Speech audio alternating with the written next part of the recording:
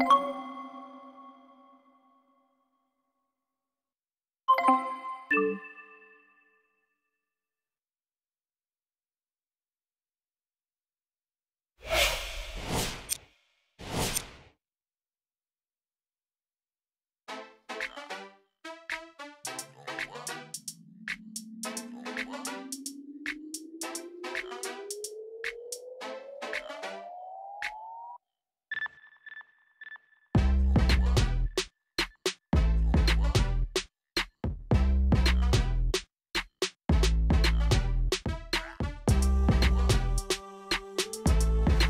Thanks for joining us tonight with Jeff Van Gundy, Mike Breen on hand.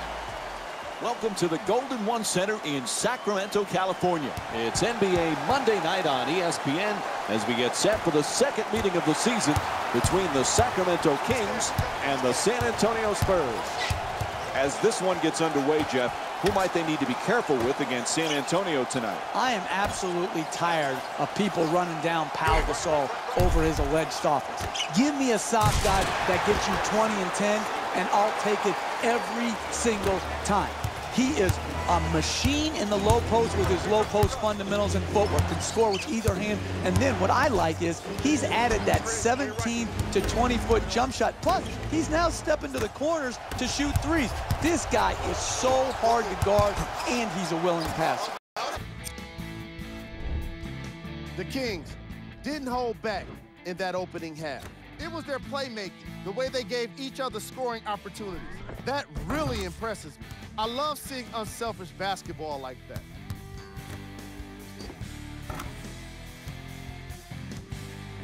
Have a look at the leading scores for the Sacramento Kings.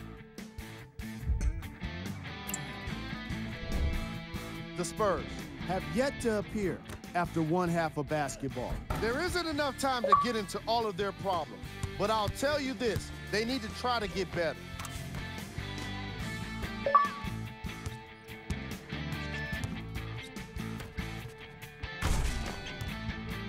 Have a look at the leading scores for the San Antonio Spurs. Game track. Assists. Great effort makes for great highlights. These guys are playing a relentless style of basketball that really suits them. And here we have a look at the first half stats. Player of the half. I like this choice because he really put on a show in the opening half. There's a reason he's a fan favorite.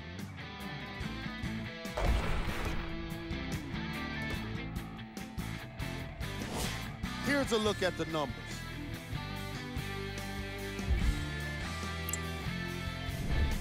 Who was hold? What can you say about a guy like this? Except that he fits the title of this segment. He was definitely cold in that first half. Top plays, and we've got three of them for you.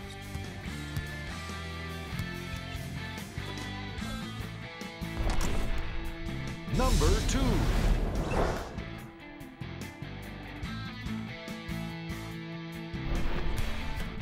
Number one.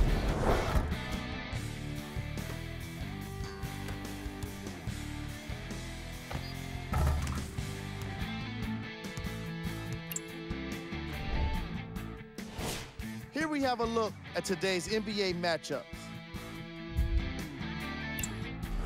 Moments away from the third quarter. Mike and Jeff are re ready to call. Here we go with the EA Sports post-game wrap-up. The Kings put their opponents away in a blowout. You ask me, and I'll tell you, it was the ball movement that made all the difference. There's something to be said for a team that can win as a group. And that's what happened here today.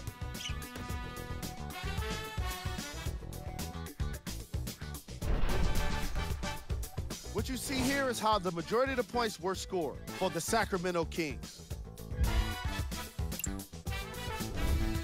The Spurs lost this game long before the final buzzer. And it's games like this where veteran players can be so important. They've been through these types of blowouts, and they know what it takes to keep a locker room united. Here are the guys who put up the most points for the San Antonio Spurs. Game track. Assists.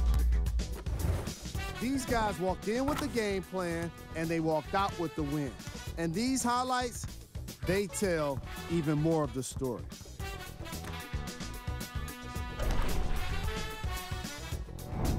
Let's check out the game stats.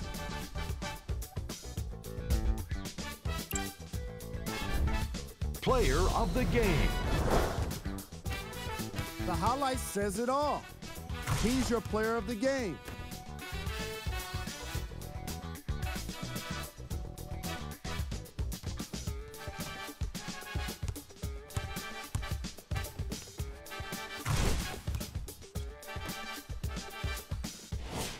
And for the stat geeks, here's a look at his numbers. Was cold?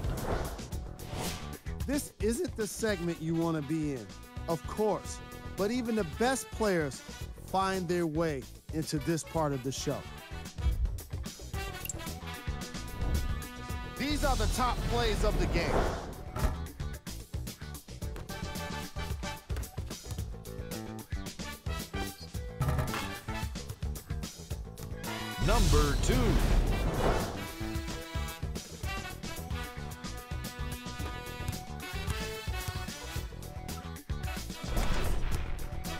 Number one.